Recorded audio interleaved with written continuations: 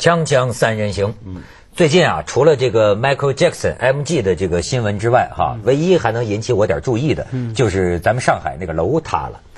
要说见过塌楼的，没见过这么塌，真没见过，太绝了，太绝了。这楼要说质量还真不错。他趴着倒了吧，还没睡，十三还没睡呢。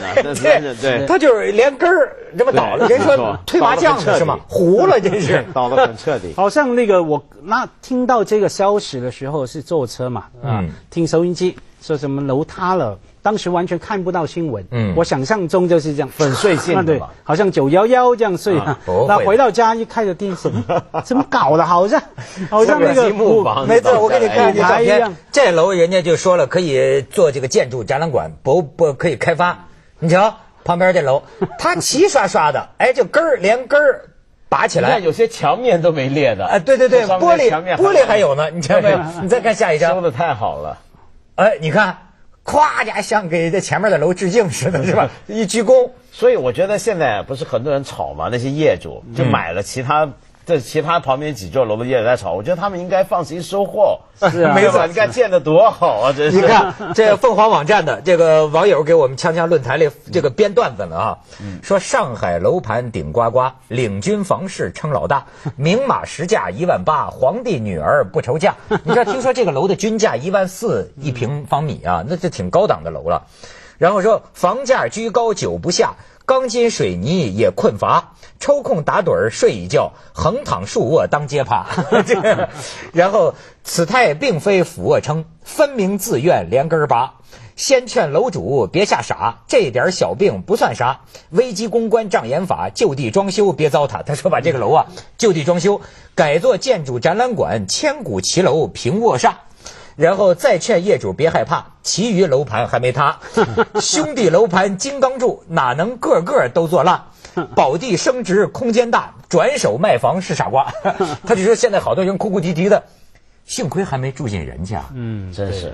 所以真的，假如改成博物馆哈，那那个当然要收费，收费那个钱可以分给附近的搬进来的住客嘛哈。嗯。那也作为那个。定经费啊，让他们不用那么怕哈。所以，我刚那天听到这个新闻，也想着想着说，哎，我让我那个整个计划不晓得要不要进行。你有什么计划？因为我前一个月哈，在文道的提拔下，跟他去了一趟上海。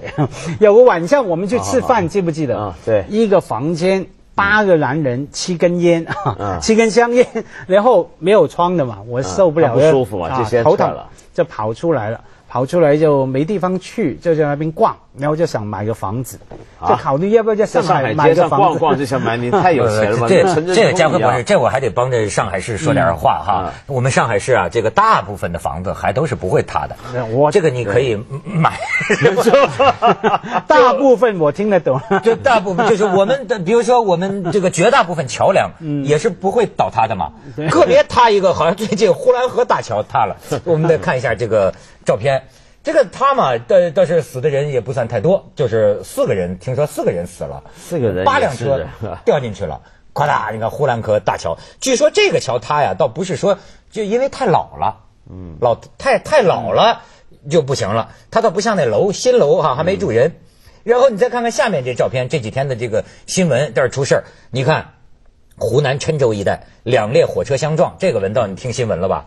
然后你再看下一个，这事儿，这个火车两个火车是同侧面相撞嘛？是。你再看下一张，就有一列火车撞到那个路边的平房去了。嗯。路轨旁边的平房，好像那里边住着几个人。嗯。给给给给撞死了。给撞死了。嗯。而且呢，这个这一撞之下，我记得。有些人就是说，当时在那个铁路旁边小平房住的那个人呢，听见天崩地裂呀，当时就说爆炸了，爆炸了，都是这样的一个一个一个一个信息。但是有意思的是啊，我可以给你讲讲这个凤凰网友有时候他批评的角度啊很有意思，他给我们这个新闻媒体记者提意见。你看，这江西南昌的一位网友评论说，引用当时的一个新闻报道，新闻报道里说。事故发生后。郴州市委市政府高度重视，市委书记戴道进、市长向丽丽、市委常委秘书长何文军、市委常委宣传部长李建国、市委常委政法委书记王碧元、市委常委副市长陈社昭、副市长王先国等市领导带领相关部门负责人紧急赶往火车站事故现场，报了这么多个头衔，你个记者你不累吗？你，就这这网友就觉得会觉得你。这也是咱们常见的一个。这没办法，因为我们新闻其中一个要点就是要报道出一个重点，就是领导很忙。对，而且而且这个网友也太细心了哈，也多心了一点。因为新闻记者当然不累，因为写了这么多头衔也不用他写的，他把他把发过来的新闻稿 copy and paste，喜欢我们这把它拷进去就好了。他不知道，真是这。这是最这是最不累的啊，这是最舒服了。这新闻稿抄一敲。你像咱们这广东的那个领导汪洋嘛，有一次都还说那些媒体的，就说你这个报领导新闻，就说不要我周末我去到哪里做个考察，我去调查一下情况，你们也要上新闻，值当的吗？这么去报道？而且不止这个上考察上新闻还好，连开会上新闻还一拍拍半天，那不是闷吗？但是你知道这是我们的传统嘛？哇，三大要点，第一个要先报的就是领导很忙，第二是国内很稳定，呃，人民生活很幸福，第三是国外世界局势一片混乱，就显得咱们好。对，没错。那你报同样的新闻没有关系，能不能有创意一点呢？因为我经常看的想法，永远你说报那些会议新闻，一定是这样嘛？大领导讲话，那个小领导在下面抄笔记，这样整排做的一样。我记得有一次，我家的十六岁的女儿也问我，她问我真的是问我，哎，老爸，我好像六岁的时候看也是这种画面，十六岁看也是这种画面哈，就是说怎么永远不变的画面？那我不晓得怎么怎么回答呢？你要这么说呀，我最近还看到一个黎智英这个人，听说过吧？嗯，他好像要改变画面。嗯，呃，我这是在亚洲周刊在哪我看到他跟台湾的一个。媒媒媒媒体大佬姓金的嘛？他也不是大佬，金普中呢，他他认识啊，是呃台湾一个帅哥嘛，留个胡子，嗯，就本来帮马英九当幕僚的，那么后来马英九当选之后，本来以为他是会去台湾做官了，嗯，结果后来他跑到香港，在中文大学教新闻，是个新闻学者，啊，那么后来又被叫回台湾，就是帮黎智英去办这个电视台嘛。黎智英咱知道是搞什么这种这个苹果日报啊，这个一周刊这种报道手法。说是我看那个好像是《亚洲周刊》说为什么跟这个姓金的俩人闹掰了呢？说是黎智英提出的新闻理念，就咱们做电视新闻，好像如果我没理解错的话，他是要那个电脑模拟画面，对，比如说你看不见那个马马马马英九跟老婆在屋里怎么着吗？我们报的时候可以拿那个电脑动画可以画一下，说你看不见法庭里边的，或者你看不见总统呃所谓总统府里边开会。我可以给你画出来，我不知道他是不是这个意思。又或者说，你比如说，大伙没看到邓玉娇怎么杀狗官，我画给你看整个 过程。是啊，但是这是电脑的那种做法。这个其实黎黎智英啊，这个已经开始了十多年嘛。香港的报纸，漫画。香港的报纸就是被弄成这样的嘛。哈，自杀，一个年轻人跳楼自杀，一定有五格的漫画，对不对？第一格，年轻人很懊恼，坐在那边；第二格，他走到一个大厦看，顶楼的楼边。走上去顶楼的楼边，然后跳下来，然后第五过程也画对，然后第五格最后一格就是画他的亲人在那抱头痛哭，啊，这他只不过把这个搬上电视，但这是很震撼的，因为电视新闻史上从来没有人想过要这么做的。对，以后大家看见都是震撼的，播的内容是正经内容，出来的画面全是电脑动画。好像好像听说主播本来的打算，连主播都用模拟的，不一定用真人。对，有时候用真人，然后用模拟的动画来取代主播。就是听说是他们他跟金普聪啊，第一个冲突的不一样的地方啊，第二个就是他坚持是二十四小时播放新闻啊。那金普聪就说没有需要这样来做哈，可能中间要加一些评论节目等等。那最后就分道扬镳嘛。嗯，那金普聪很有意思啊，他跟马英九很多。李好朋友李敖就曾经挖苦过他们嘛，说他们搞同性恋，就被李被那马英九的哦是吗？对，然后两个都有共同的嗜好，运动都是跑那铁人三三项哈，什么跑步、游泳等等，秀大腿，对，就是说两个人喜欢一起跑到山上。没有没有没有没有，我我我瞎说的，断背山了就。锵锵三人行，广告之后见。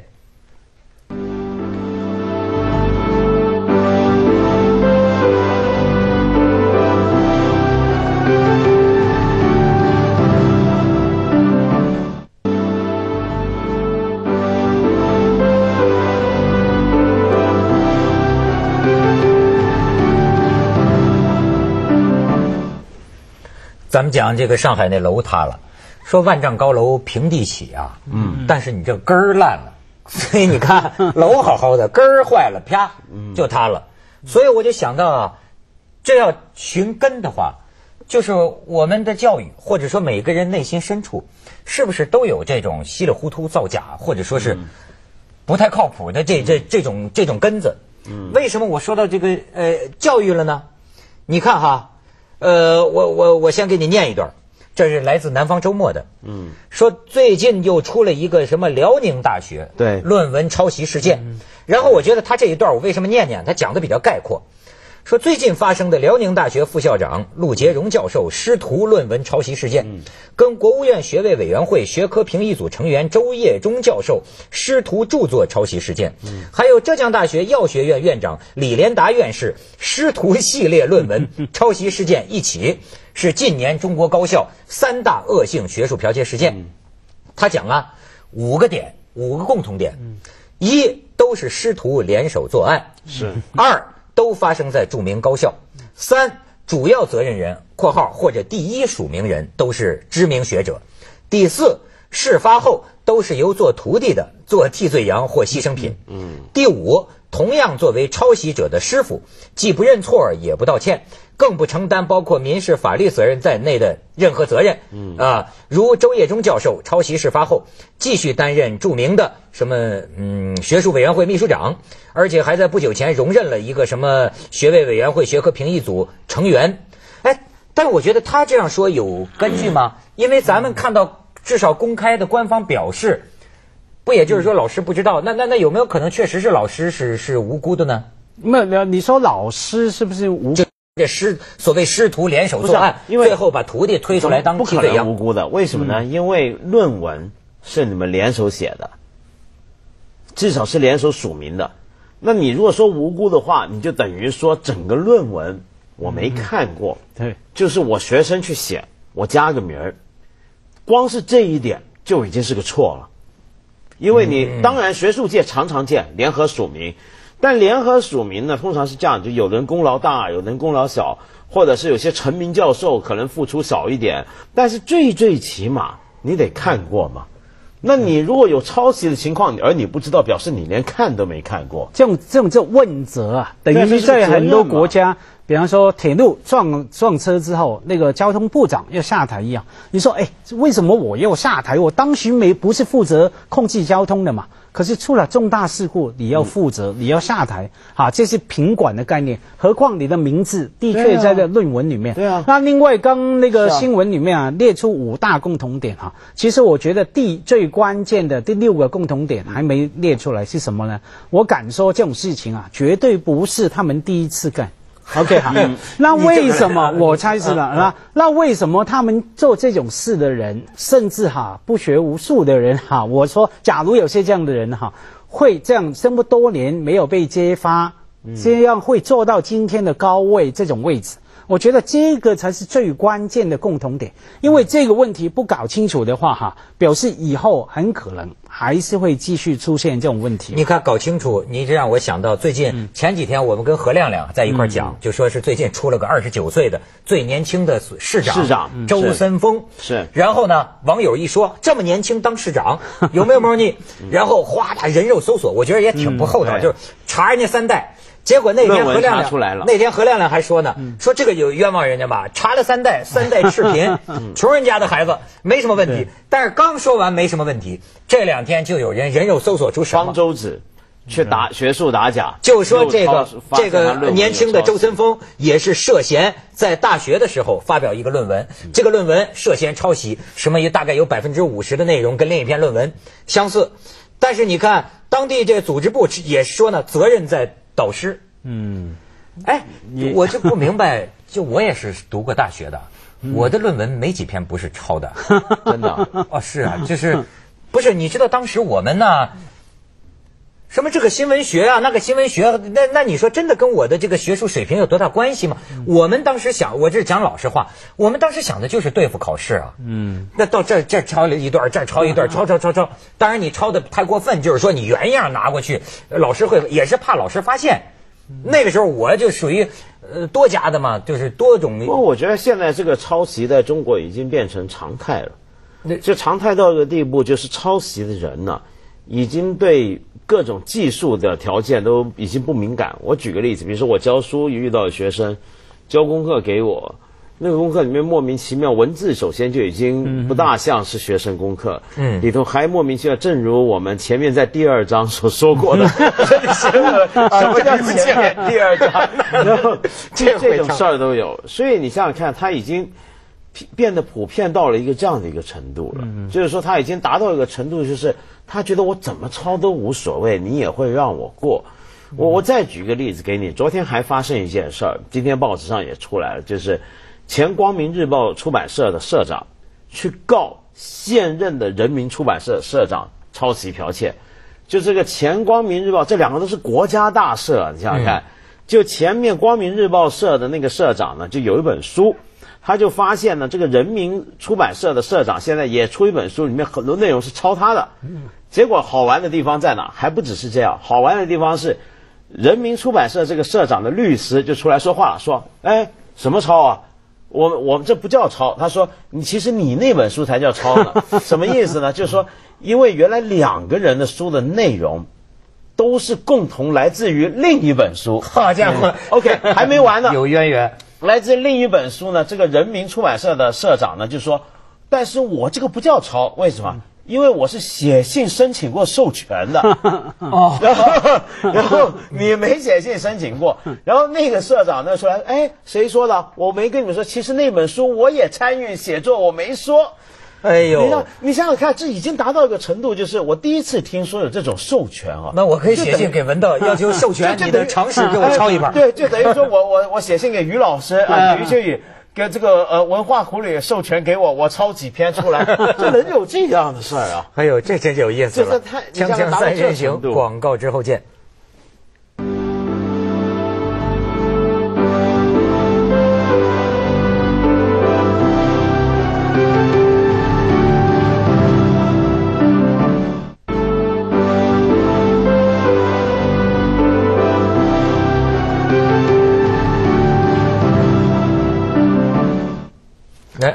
我，我听文道说哈，抄袭的普遍在中国。你说，只在中国普遍吗？也不一定见得哈。像前一阵子我们看一个新闻，我是非常惊讶的，说《纽约时报》（New York Times） 一个名记者，那文章也是抄的。对，当然也不是第一次发生哈。对，以前几年很轰动嘛，拿到什么什么奖了哈。对，《华盛顿邮报》全部抄。嗯。还有访问什么牛津大学、剑桥大学大学生、高材生都在抄哈，我觉得说是在特别在互联网年代，这种诱惑是真的非常难避免。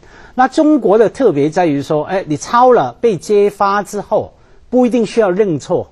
就算你不管你认错不认错，也可能没有责任哈，不用不用来负责，不用赔偿，甚至不用下台的等等的，不用惩罚的，这个才是中国特色，有中国特色的抄袭啊哈。这抄袭是非常普遍。那至于说这个根源在哪里呢？我有时候会想，你在这样的气氛成长，很难不抄的。为什么呢？我们看报纸，经常看到报纸同样的新闻。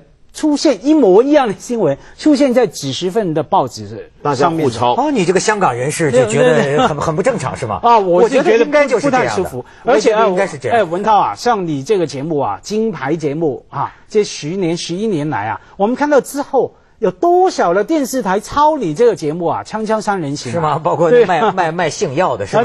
都 都是这种形式。那我觉得在这种呃耳濡目染的气氛中成长，活了一年、两年、三年之后，很难不去变成说把抄袭完全习以为常，甚至觉得说我抄你是给你面子哈，是有这种想法。或者是或者不一定是抄，有时候是比如说拿你的东西，嗯，也不跟你说一声，嗯，就比如说最常见就那种杂志或者书，嗯，收我们几篇文。章，嗯，然后呢，后头就说这个我们版权是没问过作者，他还很负责任，作者如果看到了，可以写信来索取版费。然后有些报纸我根本不想给他，他就把我香港发的东西拿过去。但是这种种东西跟前面讲楼塌，嗯，这些里面的态度问题是一样的，嗯，就是我们做事的不仔细。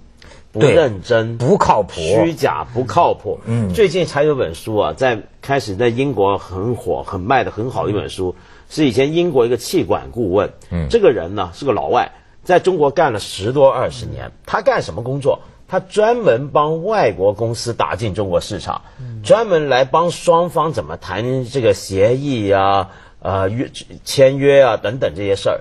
结果干了十多二十年，他觉悟了，不干了，写了一本书。